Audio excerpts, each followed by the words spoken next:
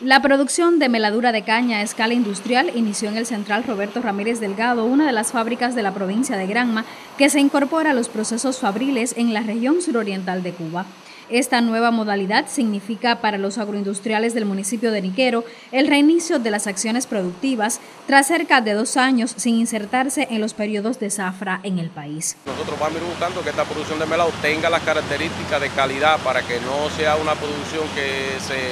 fermente, se eche a perder fácilmente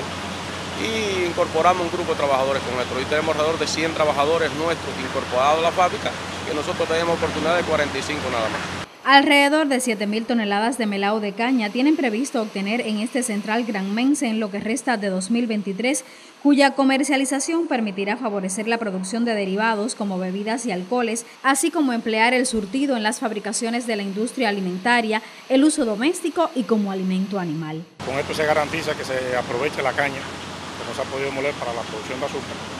y una caña que estaba prevista para esta producción de derivados. Con esta meladura se puede encadenar aquí con la industria local, la industria del municipio, con las producciones diversas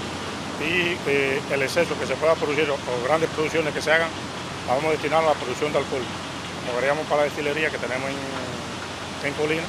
y producciones de alcohol y ron y otros derivados que se pueden hacer allí que encadena con la industria alimenticia, la producción de alimentos, la torura. Después de un amplio proceso de reparaciones industriales y enfrentando las limitaciones con la entrada de recursos, los trabajadores del Roberto Ramírez lograron arrancar con esta producción. En todas las acciones acometidas fue imprescindible el talento innovador y la implementación de alternativas técnicas para el engranaje y funcionamiento de la maquinaria. Siempre tuvimos la corazonada que íbamos a llegar, que íbamos a cumplir y que Roberto Ramírez iba a resurgir de los centrales paralizados. Hoy es así, nosotros nos faltan pocas cosas ya para estar listos para producción de azúcar, decir, que tenemos una línea fundamental ahí del sistema vacío, algunos condensadores que tenemos que trabajar, una caldera que tenemos que trabajarla, pero el resto de la industria ya está listo para venideras con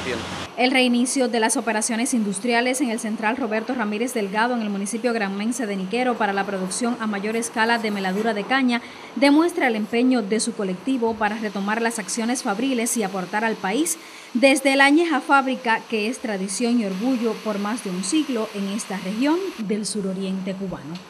Desde Gran Inés Castro Machado para el Sistema Informativo de la Televisión Cubana.